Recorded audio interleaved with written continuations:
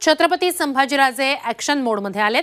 त्यांनी दिल्लीत महाराष्ट्रातील सर्व खासदारांची बैठक बोलावली आहे. त्यासाठी नितीन गडकरी शरद पवार नारायण राणे रामदास आठवले सुप्रिया सुळे यांना निमंत्रण देण्यात आलेलं आहे. अठरा डिसेंबरला संध्याकाळी पाच वाजता महाराष्ट्र सदनात ही बैठक बोलावण्यात आली आहे. राज्यात एकीकडे मराठा आरक्षणाचा विषय ऐरणीवर आलेला आहे. अशातच सर्व खासदारांनी एकमतानं संसदेत आवाज उठवावा यासाठी राज्यातल्या खासदारांची ही बैठक बोलावण्यात आली आहे. आता या बैठकीला कोण कोण उपस्थित राहत आहे याकडे लक्ष असणार आहे.